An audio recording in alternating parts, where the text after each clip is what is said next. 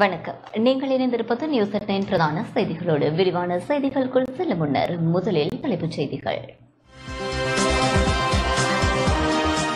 ஸ்ரீலங்கா பொதுஜன பெரமுனவின் ஜனாதிபதி வேட்பாளராக நாடாளுமன்ற உறுப்பினர் நாமல் ராஜபக்ஷ அறிவிப்பு.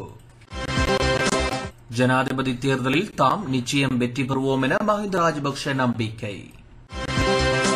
தமிழ் மக்களின் பிரச்சினையை தீர்க்க புதிய திட்டம் வகுக்கப்பட்டுள்ளதாக ஜனாதிபதி தெரிவிப்பு.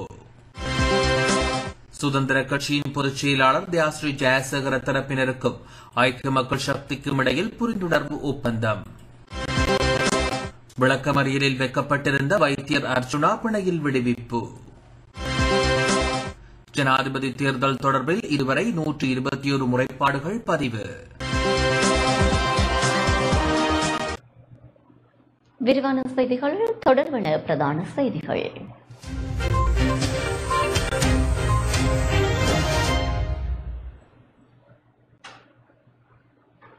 ஸ்ரீலங்கா பொதுஜன பெருமுனவின் ஜனாதிபதி வேட்பாளராக நாடாளுமன்ற உறுப்பினர் நாமல் ராஜபக்ச அறிவிக்கப்பட்டுள்ளார். ஸ்ரீலங்கா பொதுஜன பெரமுனவின் ஜனாதிபதி வேட்பாளராக கட்சியின் தேசிய அமைப்பாளரும் நாடாளுமன்ற உறுப்பினருமான நாமல் ராஜபக்ஷ அறிவிக்கப்பட்டுள்ளார். நெலும் மாவட்டத்தில் அமைந்துள்ள ஸ்ரீலங்கா பொதுஜன பெரமுனவின் தலைமையகத்தில் இன்று இடம்பெற்ற நிகழ்வின் போதே இந்த அறிவிப்பு விடுக்கப்பட்டுள்ளது. இந்த நிகழ்வில் கட்சியின் ஸ்தாபகர் பஷீர் ராஜபக்ஷ கட்சியின் தலைவரும் முன்னாள் ஜனாதிபதியுமான மஹிந்த ராஜபக்ஷ முன்னாள் ஜனாதிபதி கோட்டாபே ராஜபக்ஷ ஆகியோர் மற்றும் கட்சியின் ஆதரவாளர்கள் என பலர் கலந்து கொண்டனர்.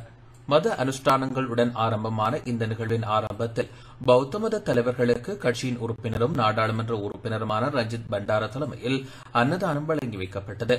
அதனைத் தொடர்ந்து சுப நேரத்தில் ஸ்ரீலங்கா பொதுஜன பெருமனவின் ஜனாதிபதி வேட்பாளர் யார் என்ற அறிவிப்பு விடுக்கப்பட்டது.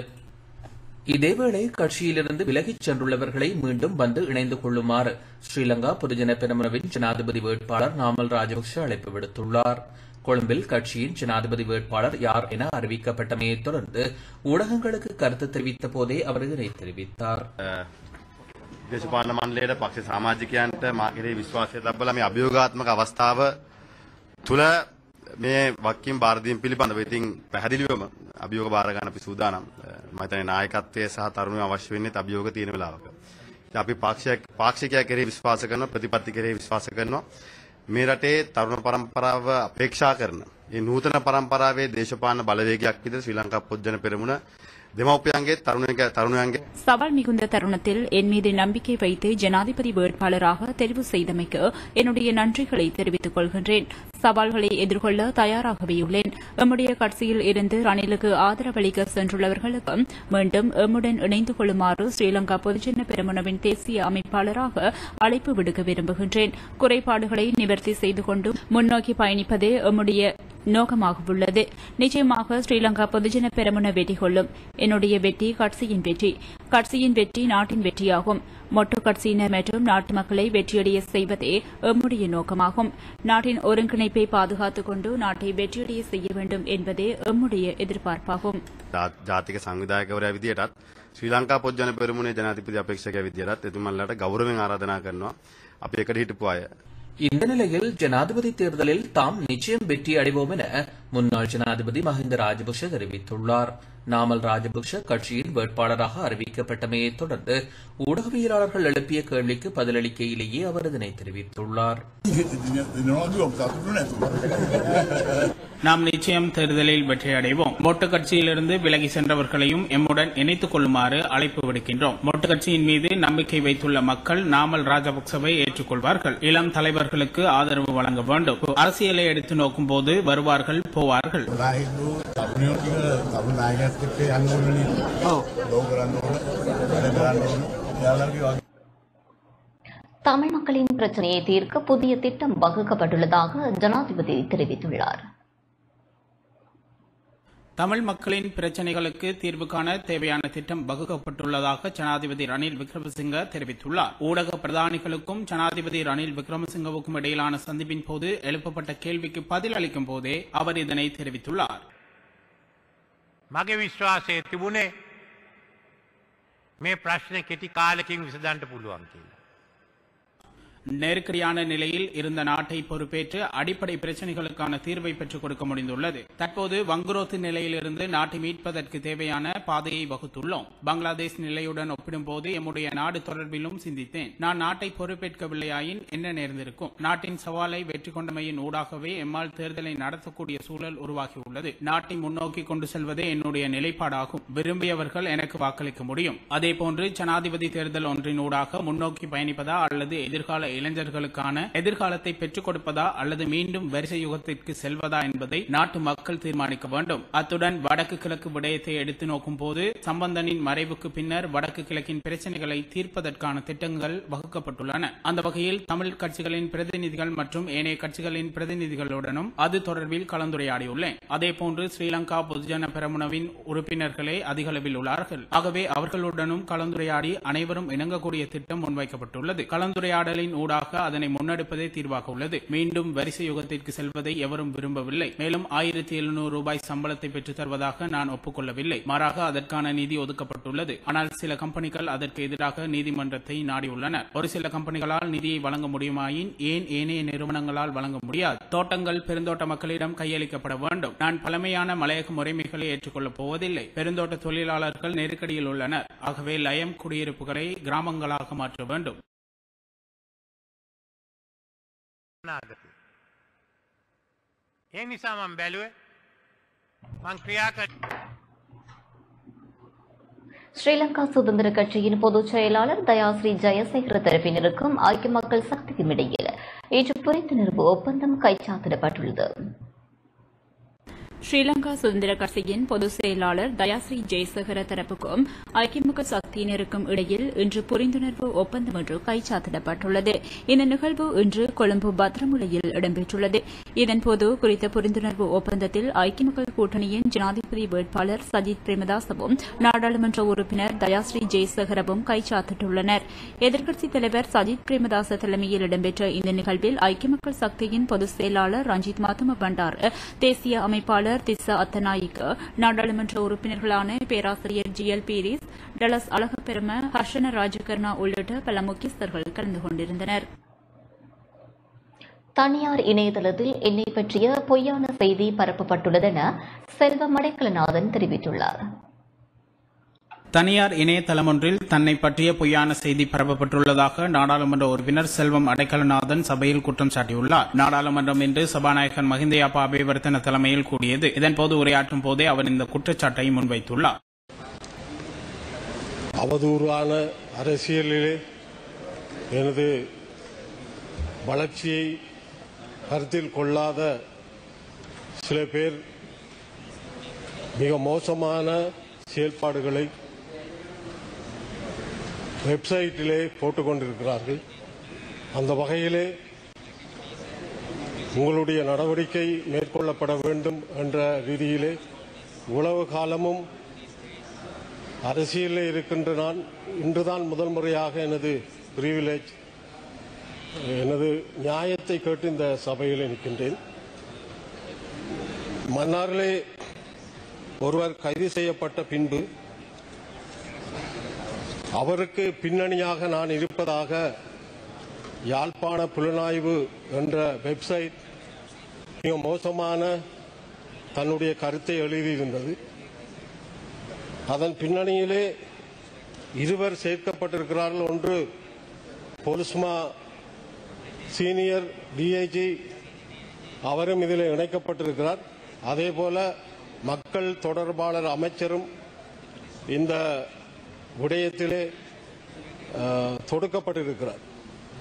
எனவே இந்த விடயத்தை தாங்கள் விசாரித்து சரியான நடவடிக்கைகளை இந்த யாழ்ப்பாண புலனாய்வு வெப்சைட்டின் மீதும் அந்த இரண்டு பொலிஸ்மா சீனியர் டிஐஜி மக்கள் தொடர்பாளர் அமைச்சரையும் இதில் இழுக்கப்பட்டதன் அடிப்படையிலே அவர்களும் இதிலே பதில் சொல்ல வேண்டும் என்பதற்கான நடவடிக்கைகளை மேற்கொள்ள வேண்டும் என்று இச்சந்தர்ப்பத்தில் நான் கேட்டுக்கொள்ள விரும்புகின்றேன்.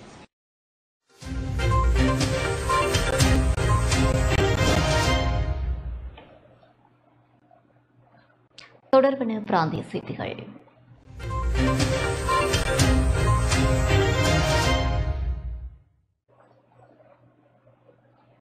தமிழ் பொது வேட்பாளர் தொடர்பான அறிவிப்பு நாளை வெளியிடப்படும் என முன்னாள் நாடாளுமன்ற உறுப்பினர் சுரேஷ் பிரேமச்சந்திரன் தெரிவித்துள்ளார்.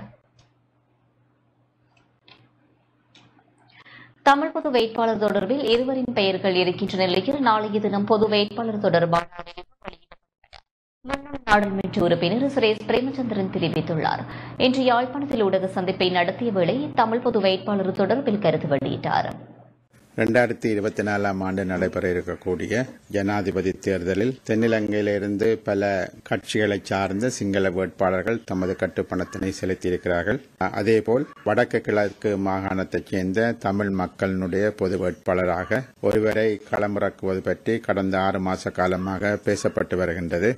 அந்த வகையில் எமது வேட்பாளர் தொடர்பாக நாங்கள் பல பேருடன் கலந்துரையாடி இறுதியாக இரண்டு மூன்று பேர் பெயர்களை நாங்கள் இறுதியாக கொண்டு வந்திருக்கிறோம். இதில் சரியான ஒருவர் வந்து நாளைய தினம் நடக்க இருக்கக்கூடிய கூட்டத்தில் நாளைய தினம் அவர் மக்களுக்கு அறிமுகப்படுத்தப்படுவார்.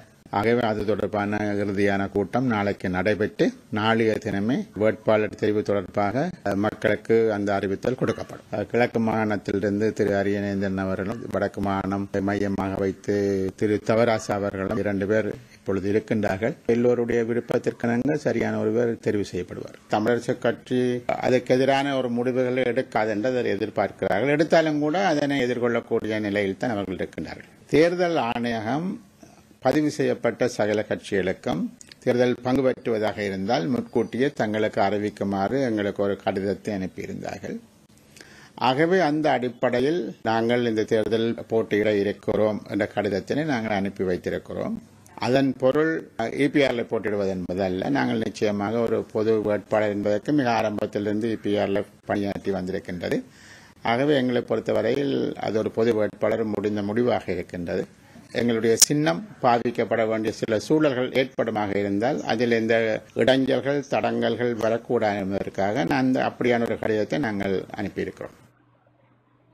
ஜனாதிபதி வேட்பாளர் விஜயதாச ராஜபக்ச இன்று யாழ்ப்பாணத்துக்கு விஜயம் செய்திருந்தார். தேசிய ஜனநாயக முன்னணியின் ஜனாதிபதி வேட்பாளர் விஜயதாச ராஜபக்ச இன்று யாழ்ப்பாணத்திற்கு விஜயம் செய்திருந்தார் யாழ் மாவட்ட ஆயர் இல்லத்திற்கு சென்ற அவர் குறு முதல்வர் ஜெபரட்னம் அடிகளாருடன் சந்திப்பில் ஈடுபட்டார் தொடர்ந்து ஊடகவியலாளர்களின் கேள்விகளுக்கு பதிலளித்தார் විශේෂයෙන් අපි වගේ විවිධ ජාතීන් විවිධ භාෂා කතා කරන විවිධකුවට අපිට දෙකයි තියෙන සිංහල வடக்கில் நீண்ட காலமாக பிரச்சினை காணப்படுகின்றது அதற்கான தீர்வு இன்னும் வழங்கப்படவில்லை நிறைவேற்று அதிகாரம் மூலம் கூட அதற்கு தீர்வு வழங்கப்படவில்லை மாகாண சபைகள் மூலம் வடக்கின் அபிவிருத்திகளுக்கு ஒதுக்கப்பட்ட பெருமளவான நிதி மீண்டும் மத்தியை சென்றடைந்திருக்கின்றது இதற்கு உரிய பொறிமுறை ஒன்று உருவாக்கப்பட வேண்டும் වෙන්න පුළුවන් අගමැති වෙන්න පුළුවන් ජනාධිපති වෙන්න පුළුවන් හොඳ මුදාහරණ අපි ඉන්දියාව එහෙම වෙනවා. ඉතින් අපි අර එකමුතුවක් නැති නිසා ඡන්දෙ ඉල්ලන්නෙත් බෙදිලා இதேவேளை தமிழ் பொது வேட்பாளர் தொடர்பில் ஊடகவியலாளர்கள் எழுப்பிய கேள்விகளுக்கு அவர் இவ்வாறு பதிலளித்தார் And uh, which stands that the people should take in the upcoming election uh, for the betterment of all the people living. Tamil Sinhala Muslim என நாட்டு மக்கள் யாராக இருந்தாலும் ஜனாதிபதி தேர்தலில் வேட்பாளராக போட்டியிட உரிமை இருக்கின்றது. தமிழ் பொது வேட்பாளரை நிறுத்துவதன் மூலம் தமது பலத்தை நிரூபிக்கவும் அதன் மூலம் தென்பகுதிக்கு ஒரு செய்தியை தெரிவிக்கவும் தமிழ் கட்சிகளின் தலைவர்கள் நினைக்கின்றார்கள். இருப்பினும் அதிக அளவிலான வாக்குகளை பெறாமல் ஜனாதிபதி தேர்தலில் வெற்றி பெற முடியாது என்பது அவர்களுக்கு தெரியும். தமிழ் வேட்பாளர் சிங்கள மக்களின் வாக்குகளை எதிர்பார்க்க மாட்டார். ஆனால் தமிழ் பிரஜை ஒருவர் சிங்கள வேட்பாளருக்கு வாக்களிக்க வாய்ப்பு இருக்கின்றது but they know that without having the large number of number that nobody can become the president இந்த நிலையில் வடக்கு கிழக்கு அதிகாரிகளின் அசமந்த போக்கே அபிவிருத்திக்கான நிதி திரும்ப காரணம் எனவும் தற்போது நாடாளுமன்றத்தில் உள்ளவர்களில் நூற்றி ஐம்பதற்கும் அதிகமானோர் எதிர்வரும் நாடாளுமன்ற தேர்தலில் தோல்வியடைவார்கள் எனவும் ஜனாதிபதி வேட்பாளர் விஜயதாஸ் ராஜபக்ச தெரிவித்துள்ளார். இன்று யாழ்ப்பாணம் கோண்டாவில் பகுதியில் இடம்பெற்ற வேட்பாளர் அறிமுக நிகழ்வில் இவ்வாறு குறிப்பிட்டார். பெரமுன கட்சியினர் என்னை தமது கட்சி சார்பில் வேட்பாளராக போட்டியிட அணுகியிருந்தனர். நான் அதனை மறுத்துள்ளேன். தற்போது இளம் அரசியல்வாதி ஒருவரை வேட்பாளராக களமிறக்கியுள்ளனர். ஸ்ரீலங்கா சுதந்திர கட்சியின் சார்பில் போட்டியிடுவதே எனது இலக்கு. எனது பெயரிலும் ராஜபக்ச உள்ளமையால் நான் முன்னைய அரசாங்கத்தின் ராஜபக்ச குடும்பத்தைச் சேர்ந்தவன் அல்ல. அந்த ராஜபக்ச குடும்பத்திற்கும் எனக்கும் எந்த தொடர்பும் இல்லை. நாட்டு மக்களுக்கும் இந்த அரசாங்கத்துடன் தொடர்புடையவராகவே என்னை தெரியும். ஆனால் நான் நீதி அமைச்சராக சுயாதீனமாகவே இயங்கினேன். தற்போதுள்ள அரசாங்கத்தின் மீது மக்கள் முற்றிலும் நம்பிக்கை இழந்துள்ளமையை நான் அறிவேன். அதனால் அடுத்த நாடாளுமன்ற தேர்தலில் தற்போது நாடாளுமன்றத்தில் இருக்கின்றவர்களில் நூற்றி ஐம்பதற்கும் மேற்பட்டவர்கள் தோற்கடிக்கப்படுவார்கள். வடக்கு கிழக்கில் அபிவிருத்திக்கு என ஒதுக்கப்பட்ட நிதிகளில் ஐம்பது வீதத்திற்கும் அதிகமான நிதி திரும்புகின்றது. வடக்கு கிழக்கு அதிகாரிகளின் ஒத்துழைப்பு இல்லாமையே அதற்கு காரணம் என விஜயதாச ராஜபக்ச குறிப்பிட்டுள்ளார்.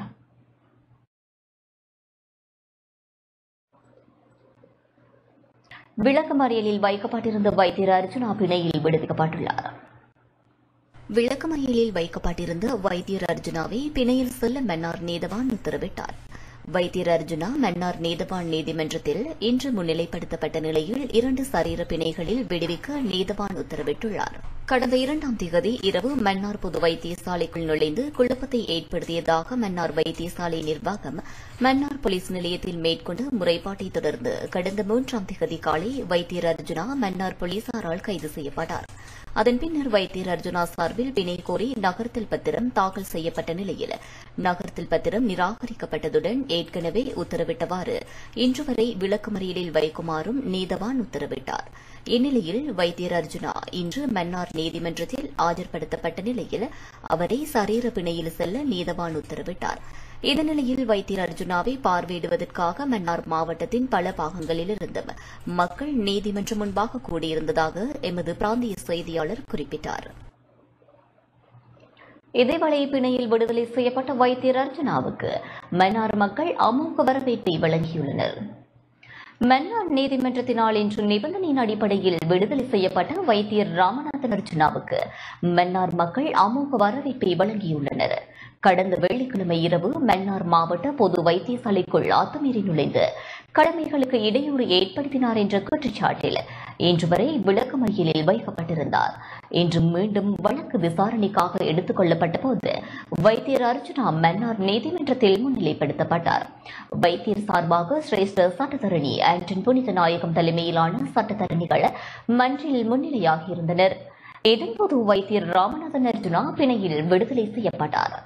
கடந்த இருபத்தெட்டாம் தேதி மன்னாறு தம்பனைக்குளம் பகுதியைச் சேர்ந்த இருபத்தொரு வயதான மரியராஜ் சிந்துஜா என்ற இளம் தாய். மன்னார் பொது வைத்தியசாலையில் சிகிச்சை பலனின்றி உயிரிழந்த நிலையில் மரணத்திற்கு சம்பவ தினத்தன்று விடுதியில் இருந்தவர்களின் அசமந்த போக்கை காரணம் என குற்றம் சுமத்தப்பட்டது. அதனைத் தொடர்ந்து வைத்தியர் அர்ஜுனா மன்னார் வைத்தியசாலைக்கு சென்று இளம் தாயின் மரணம் தொடர்பில் விசாரித்த வேளை வைத்திய கடமைகளுக்கு இடையூறு ஏற்படுத்தியதாக குற்றம் சுமத்தப்பட்டுள்ளது. அதன் காரணமாக விளக்கமறியலில் வைக்கப்பட்டிருந்த அர்ஜுனா இன்று பிணையில் விடுவிக்கப்பட்ட வேளை மக்கள் ஒன்று திரண்டு மன்னார் பொது விளையாட்டு மைதான பகுதிக்கு அழைத்துச் சென்று வைத்தியருக்கு மாலை அணிவித்து வாழ்த்துக்களை தெரிவித்தனர்.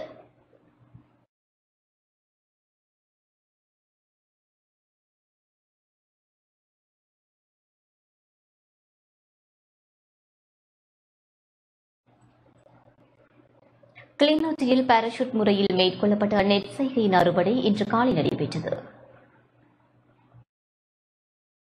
கிளிநொச்சி அக்ராயன்குளம் விவசாய போதனாசிரியர் பிரிவில் அக்ராயன்குளத்தின் கீழ் சிறுபோக்கு நெற்செய்கையில் நவீன முறையான பாரசூட் மேற்கொள்ளப்பட்ட நெற்பை செய்கையில் அறுவடை இன்று காலை நடைபெற்றது. அக்ராயன்குளம் பாடவிதான உத்தியோகத்தர் தலைமையில் இந்த நிகழ்வு இடம்பெற்றது. விவசாயி ஒருவரின் வயலில் அறுவடை விழா இன்று காலை பத்து மணியளவில் நடைபெற்றது. இதன்போது விவசாயிகளுக்கும் பிரமுகர்களுக்கும் பாரசூட் முறையிலான நெல்செய்கை முறை தொடர்பில் பாடவிதான மற்றும் விவசாய போதனாசிரியர்களினால் விரிவான விளக்கம் அளிக்கப்பட்டிருந்தது. குறித்த நிகழ்வில் கிளிநொச்சி மாவட்ட பிரதி விவசாய பணிப்பாளர் பணிமனை பாடவிதான உத்தியோகத்தர்கள் விவசாய போதனாசிரியர்கள் கமரடு சேவை நிலைய உத்தியோகத்தர்கள் விவசாயிகள் பொதுமக்கள் என பலரும் கலந்து கொண்டனா் இதேவழி கிளிநொச்சி மாவட்ட பிரதி விவசாய பணிப்பாளர் அலுவலகத்தின் வழிகாட்டலின் கீழ் மாவட்டத்தின் பல பகுதிகளில் பாரசூட் முறையிலான இவ்வாறான முன்மாதிரி நிகழ்ச்சியை முன்னெடுக்கப்பட்டிருந்தமை குறிப்பிடத்தக்கது. வவுனியா மாவட்டத்தில் சிறுபோக செய்கையில் அதிக விளைச்சல் கிடைத்துள்ளது. வவுனியா மாவட்டத்தில் இம்முறை நான்காயிரத்து எண்ணூற்று முப்பத்தி நான்கு தசம் நான்கு ஐந்து ஹெக்டேரில் பதினேழாயிரத்து எழுநூற்று எழுபத்தி ஆறு தசம் எட்டு எட்டு மெட்ரிக் டன் நெல் அறுவடை மேற்கொள்ளப்பட்டுள்ளதாக கமண்டல அபிவிருத்தி உதவி ஆணையாளர் கானா விமலரூபன் தெரிவித்துள்ளார். வவுனியா மாவட்டத்தில் ஒன்பது கமநல சேவை நிலையங்களின் கீழாக ஆறாயிரத்து முன்னூற்றி இருபத்தி ஏழு தசம் ஒன்பது ஆறு ஹெக்டேரில் சிறுபோக்கு நெற்செய்கை மேற்கொள்ளப்பட்டதுடன் அதில் தற்போது வரை நான்காயிரத்து எண்ணூற்று முப்பத்தி நான்கு தசம் நான்கைந்து ஹெக்டேரில் நெல் அறுவடை இடம்பெற்றுள்ளதாகவும் கமநல அபிவிருத்தி உதவி ஆணையாளர் கானா விமலரூபன் குறிப்பிட்டுள்ளார்.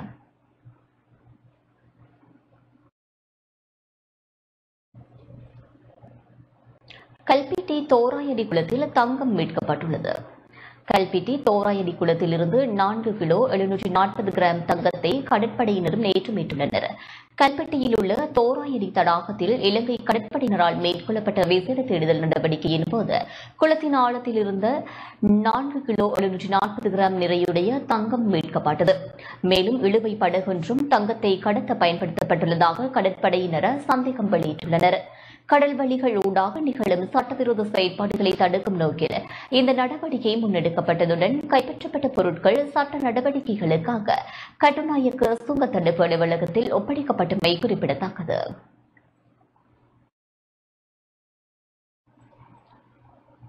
மட்டக்களப்பு ஏறாவூரில் வர்த்தகர் ஒருவர் அடித்து கொலை செய்யப்பட்டுள்ளார். மட்டக்களப்பு ஏறாவூர் ஹிஸ்புல்லா நகரில் வர்த்தகர் ஒருவர் அடித்து கொலை செய்யப்பட்டுள்ளார். இச்சம்பவம் நேற்றிரவு இடம்பெற்றுள்ளதாக ஏறாவூர் போலீசார் தெரிவித்தனர். ஐம்பத்தி இரண்டு வயதுடைய சேகு தாவூத் என்பவரே கொலை செய்யப்பட்டவர் என அடையாளம் காணப்பட்டுள்ளது. இச்சம்பவம் தொடர்பாக அவரது குடும்ப உறவினர்களிடம் வாக்குமூலம் பெறப்பட்டுள்ளதாக போலீசார் தெரிவித்தனர். சம்பவ இடத்தில் இருந்த சிசிடிவி கேமராவின் ஒளிப்பதிவு கருவியும் கொலைகாரர்களினால் எடுத்துச் செல்லப்பட்டுள்ளது. வர்த்தக நிலையத்தை மூடிவிட்டு அதன் அருகில் உள்ள தனது சகோதரிக்கு சொந்தமான வீட்டில் தனியாக இருந்த வேளை இச்சம்பவம் இடம்பெற்றுள்ளது. ஏராவூர் நீதிமன்ற நீதிபதி சம்பவ இடத்திற்கு வருகை தந்து விசாரணைகளை ஆரம்பித்துள்ளார். ஏறாவூர் போலீசார் மேலதிக விசாரணைகளை முன்னெடுத்துள்ளனர்.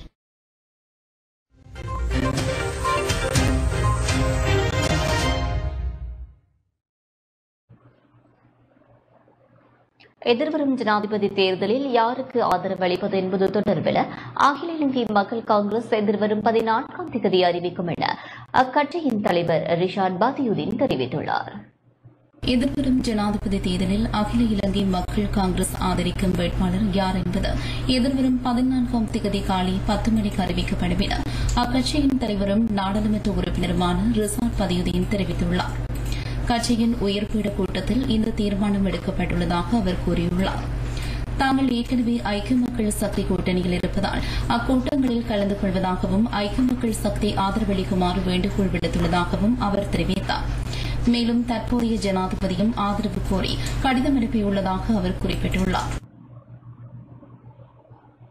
நீர்வளங்கள் மற்றும் தோட்ட உட்கட்டமைப்பு வசதிகள் அபிவிருத்தி அமைச்சின் ஆலோசனைக் குழு கூட்டம் இன்று நடைபெற்றது. நீர்வளங்கள் மற்றும் தோட்ட உட்கட்டமைப்பு வசதிகள் அபிவிருத்தி அமைச்சின் ஆலோசனைக் குழு கூட்டம் நாடாளுமன்ற கட்டிட தொகுதியில் இன்று இடம்பெற்றது. இதன்போது அமைச்சர்கள் மற்றும் நாடாளுமன்ற உறுப்பினர்களின் முன்மொழிவுகள் விவாதத்திற்கு எடுத்துக் கொள்ளப்பட்டன.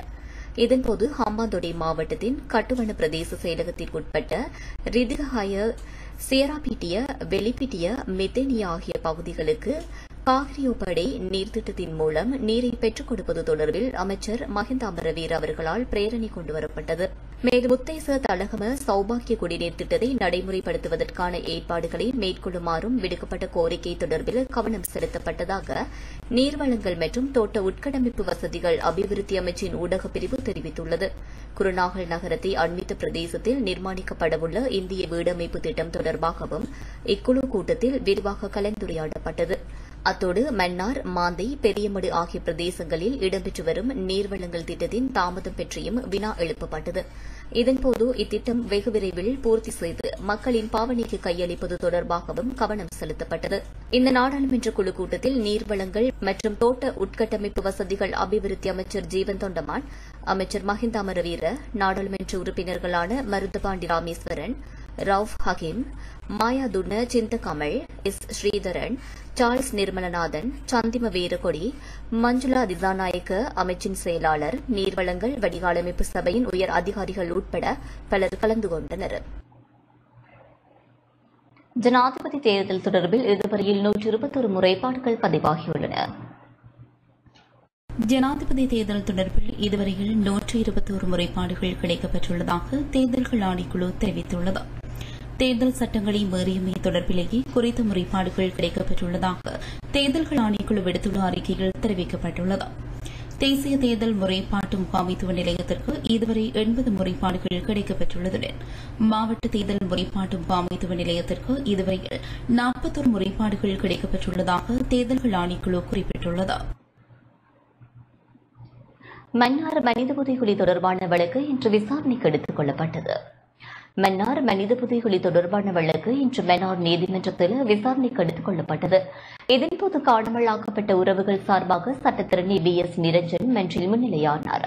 அதன் பின்னர் அவர் ஊடகங்களுக்கு கருத்து வெளியிட்டார். மன்னார் நீதவான் நீதிமன்றத்தில் சதோஷ புதைகுழி வழக்கு எடுத்துக் கொள்ளப்பட்ட போது அது ஒரு கலந்துரையாடல் வடிவில் அழைக்கப்பட்ட திணைக்களங்களுடன் வைத்தியர் ராஜபக்ஷ கழனி முன்னாள் பேராசிரியர் ராஜ் சோமதேவ போலீஸ் பொறுப்பதிகாரி போன்ற அனைவரின் முன்னாலும் காணாமல் போனோர் அலுவலக சட்டத்திறனிகள் காணாமல் ஆக்கப்பட்ட குடும்பங்கள் சார்பில் சட்டத்திறனிகள் அரசு சட்டத்திறனிகள் முதலாவில் வழக்கு எடுத்துக் கொள்ளப்பட்டபோது. அப்போது பல கட்டளைகள் ஆக்கப்பட்டிருந்தன. ஏற்கனவே இருந்த புதைகுழியை சுற்றி மட்டுப்படுத்தப்பட்ட அளவில் ராஜ் சோமதேவ் அவர்களினால் ஸ்கேன் பரிசோதனை ஒன்று செய்யப்பட வேண்டும் என்று கேட்கப்பட்டு அதுக்காக அனுமதி வழங்கப்பட்டிருக்கின்றது. அத்தோடு ஏற்கனவே நீதிமன்ற கட்டுக்காவில் காணப்படுகின்ற மாதிரிகளை எலும்புகள் பிரிம்பாகவும் பிற பொருட்கள் பிரிம்பாகவும் பிரித்தெடுத்து பிற பொருட்களை அது ஆர்டிஃபெக்ட்ஸை ராஜ் சோமதேவ் அவர்களிடம் கையளிப்பதாகவும் அத்தோடு எலும்புகளை எடுத்து பிறப்புக்கான காரணம் பால் வயது போன்ற விவரங்கள் அடங்கிய வைத்தியர்களின் அறிக்கையை பெற்றுக்கொள்வதற்காக அதை பிரித்தெடுப்பதற்காகவும் அக்டோபர் பதினாறாம் தேதி தேதி குறிப்பிடப்பட்டிருக்கின்றது. அத்தோடு நீதிமன்றம் மேலதிகமாக ஒரு கட்டளை ஒன்று ஆக்கியிருக்கின்றது. நில அளவை திணைக்களம் அரசாங்க அதிபர் அலுவலகர் ஆர்கியோலஜி டிபார்ட்மெண்ட் போன்றன இந்த பிரதேசம் எவ்வாறு காணப்பட்டது அதற்கான வரலாறு அது எவரின் கட்டுக்காவல் இருந்தது போன்ற விவரங்கள் அடங்கிய அறிக்கைகளையும் சமர்ப்பிக்கப்பட வேண்டும் என்று சொல்லப்பட்டிருக்கு. அகழ்வின் போது பிரித்தெடுக்கப்பட்ட இந்த மாதிரிகளின் பரிசோதனைக்காகவும் இந்த ஸ்கேன் பரிசோதனைக்காகவும் அதற்கான நிதி உதவியை காணா போனோர் அலுவலகம் மேற்கொள்வதாக இன்று நீதிமன்றத்தில் உத்தரவாதம் அளித்திருக்கின்றது. அதன் அடிப்படையில் இந்த வழக்கு அக்டோபர் மாதம் பதினாறாம் தேதி மேலதிக நடவடிக்கைகளுக்காக தேதி குறிப்பிடப்பட்டிருக்கு திருக்கேசுர புதைகுழி வழக்கு மன்னார் நீதவான் நீதிமன்றத்தில் எடுத்துக் கொள்ளப்பட்ட போது மாதிரிகள் சேகரிக்கப்பட்டு நீதிமன்ற கட்டுக்காவலில் இருக்கின்றது. அது சி போர்டீன் டெஸ்டுக்காக வேண்டி அமெரிக்கா அனுப்புவதற்கு. அது சம்பந்தமா எவ்வாறு அனுப்பப்பட வேண்டும்? அதனுடைய கட்டுக்காவல் எவ்வாறு பாதுகாக்கப்பட வேண்டும் என்பது தொடர்பில் வைத்தியரத்ன அவர்கள் அறிக்கை ஒன்றை சமர்ப்பிக்க வேண்டும் என்று நீதிமன்றம் கேட்டிருக்கின்றது. எலும்புகளை பரிசோதனை செய்யும் வைத்தியர் கேவகை அவர்களினால் அக்டோபர் பதினாறாம் தேதி எடுத்த எலும்புகளில் இருந்து அது இறப்புக்கான காரணம். அதன் வயது பால்நிலை போன்ற விவரங்கள் அடங்கிய அறிக்கையை சமர்ப்பிக்க இருக்கின்றன. அதற்காக அக்டோபர் பதினாறாம் தேதி வழங்கப்பட்டிருக்கிறது. கிளிநொச்சி பழை மத்திய கல்லூரியில் விசேட தேவையுடைய மாணவர்களுக்கு மருத்துவ முகாம் ஒன்று இடம்பெற்றுள்ளது. கிளிநொச்சி பள்ளி மத்திய கல்லூரியில் விசேட தேவையுடைய மாணவர்களுக்கான மருத்துவ முகாம் ஒன்று இன்று காலை இடம்பெற்றது. பள்ளி மத்திய கல்லூரியில் கல்வி பயிலும் விசேட தேவையுடைய மாணவர்களின் உடல்நிலையை பரிசோதிப்பதற்காக குறைந்த மருத்துவ முகாம் ஏற்பாடு செய்யப்பட்டிருந்தது. வைத்தியர் எஸ். அருமைத்துறை விசேட தேவையுடைய மாணவர்களுக்கு மருத்துவ பரிசோதனைகளை மேற்கொண்டார். யாழ்ப்பாணம் நெல்லியடி நகர் மற்றும் கரணவாய் வடக்கு பிரதேசங்களில் பிரதேச சபையின் உரிய அனுமதியின்றி கட்டப்பட்டு வந்த மதில்கள் இடித்து அளிக்கப்பட்டுள்ளன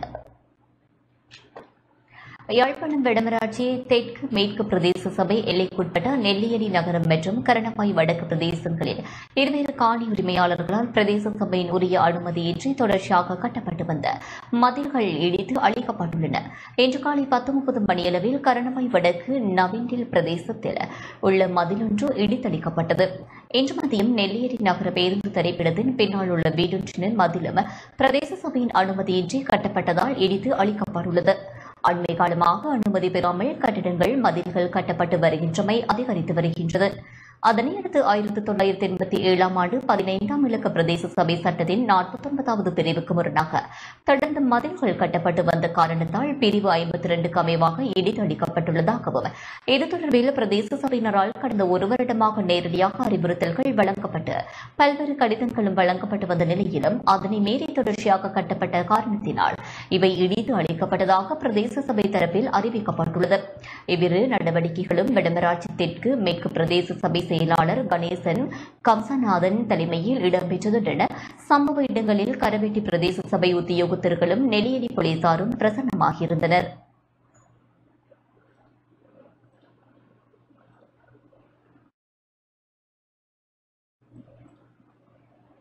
மட்டக்களப்பு புளியந்தீவு புனித மரியாள் பேராலய வெண்ணீர்ப்பு மாதாவின் இருநூற்றி பதினாறாவது திருவிழா கொடியேற்றத்துடன் ஆரம்பமானது. மட்டக்களப்பு புளியந்தீவு புனித மரியாள் பேராலய விண்ணேற்பு மாதாவின் இருநூற்றி பதினாறாவது திருவிழா கொடியேற்றத்துடன் ஆரம்பமானது.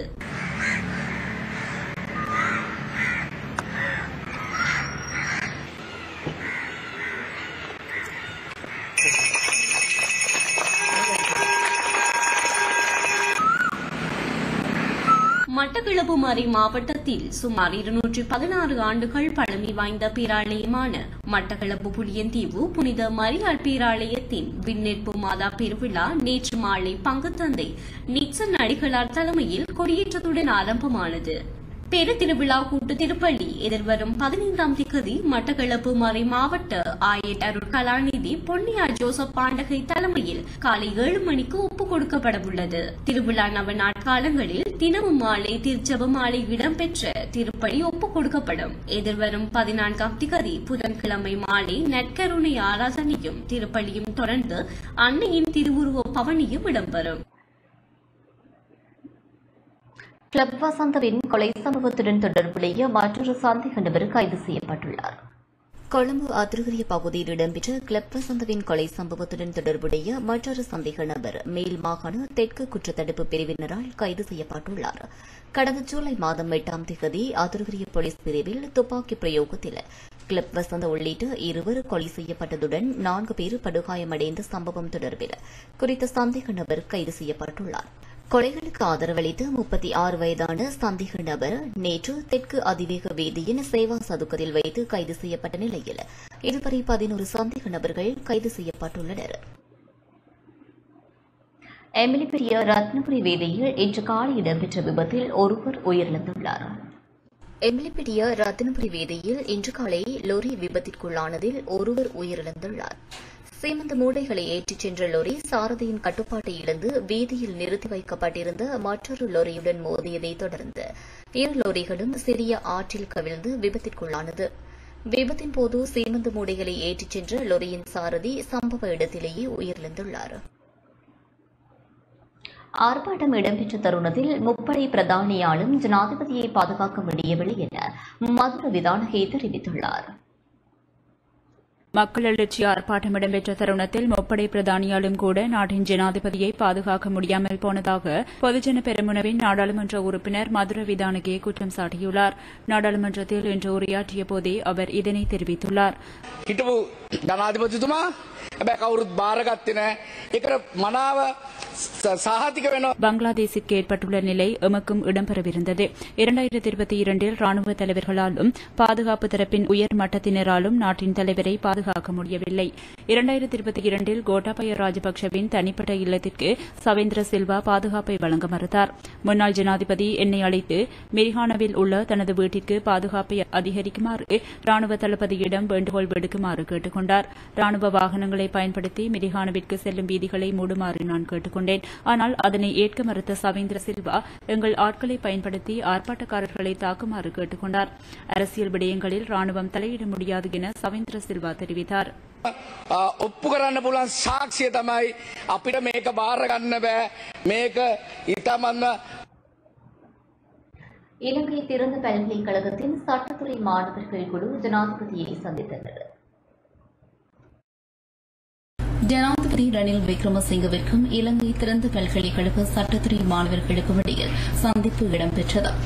இலங்கை திறந்த பல்கலைக்கழக சட்டத்துறை மாணவர்கள் இருநூற்று எண்பது பேர் நேற்று களப்பயணத்தில் இணைந்து கொண்டதுடன் அவர்கள் ஜனாதிபதி மாளிகைக்கு விஜயம் செய்தனர்.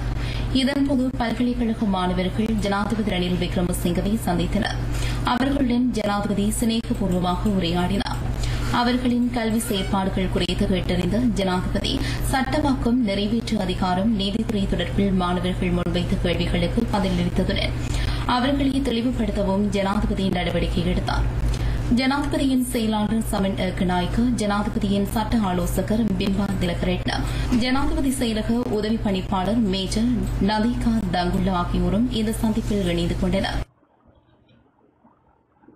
எதிர்காலத்தில் தேசிய மக்கள் சக்தி அரசாங்கம் அமைந்தால் மக்களின் பணத்தை வீணடிக்கும் செயற்பாடு இடம்பெறாதென தேசிய தொழிற்சங்க மத்திய நிலையத்தின் தேசிய அமைப்பாளர் வசந்த் சமரசிங்க தெரிவித்துள்ளார். எதிர்காலத்தில் தேசிய மக்கள் சக்தி அரசாங்கம் முன்னாள் ஜனாதிபதிகளுக்கு எந்த விதத்திலும் உதவி செய்யாதென தேசிய தொழிற்சங்கம் மத்திய நிலையத்தின் தேசிய அமைப்பாளர் வசந்த சமரசிங்க தெரிவித்துள்ளார். நாங்கள் ஆட்சிக்கு வந்தவுடன் நாடாளுமன்ற உறுப்பினர்களின் ஓய்வூதியம் ரத்து செய்யப்படும். நாடாளுமன்ற உறுப்பினர்களுக்கு ஐந்து வருடங்கள் பதவியிலிருந்து ஓய்வூதியம் வழங்கும் நாடு இலங்கை மட்டுமே ஆகும். அவ்வாறு மக்களின் பணத்தை வீணடிப்பது முட்டாள்தனமான செயல் என தேசிய தொழிற்சங்கம் மத்திய நிலையத்தின் தேசிய அமைப்பாளர் வசந்த் சமரசிங்க குறிப்பிட்டுள்ளார். யாழ்ப்பாணம் நல்லூர் கந்தசுவாமி ஆலய திருவிழாவை முன்னிட்டு ஆலய வீதிகளில் நாளை முதல் போக்குவரத்து தடை செய்யப்பட உள்ளது.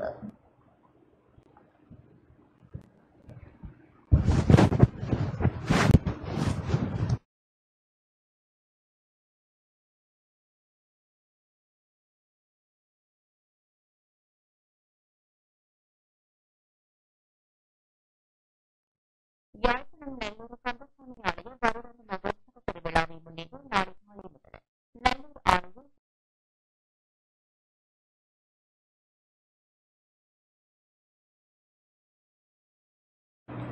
யாழ்ப்பாணம் நல்லூர் கந்தசுவாமி ஆலய வருடாந்த மகோத்சவ பெருவிழாவை முன்னிட்டு நாளை காலை முதல் நல்லூர் ஆலய சுற்று வீதிகளில் போக்குவரத்து தடை செய்யப்பட உள்ளது நாளைய தினம் அமுல்படுத்தப்படும் வீதி தடை எதிர்வரும் செப்டம்பர் நான்காம் திகதி மாலை வைரவர் சாந்தி நிறைவடைந்த பின்னரே திறந்துவிடப்படும் என அறிவிக்கப்பட்டுள்ளது. இதனால் பருத்தித்துறை வீதி வழியாக வரும் வாகனங்கள் யாழ் மாநகர சபை முன்பாக உள்ள வேதியால் பயணித்து யாழ் அடைய முடியும் என்பதுடன்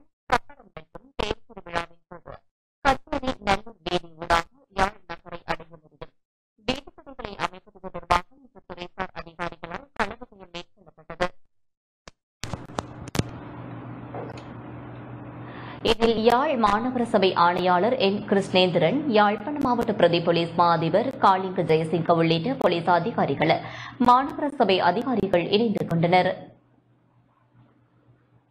தொடர்வது வர்த்தக செய்தி.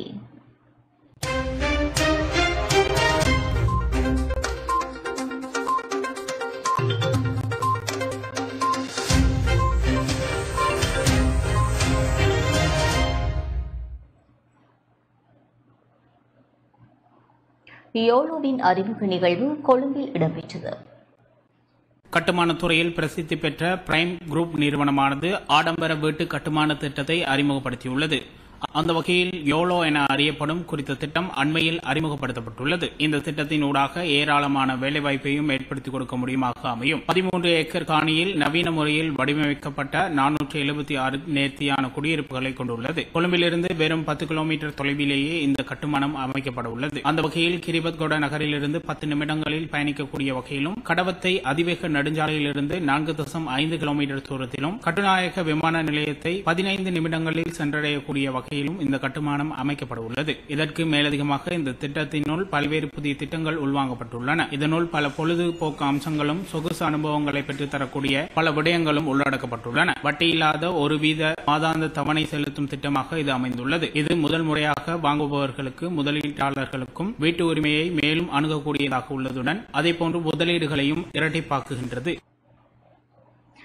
இத்துடன் இன்றைய நாளுக்கான பிரதான செய்திகள் யாவும் நிறைவடைகின்றன. மீண்டும் நாளை காலை முது பிரதான செய்திகளை எதிர்பாருங்கள். தொடர்ந்தும் டான்ஸ் செய்திகளோடு இணைந்திருங்கள். வணக்கம்.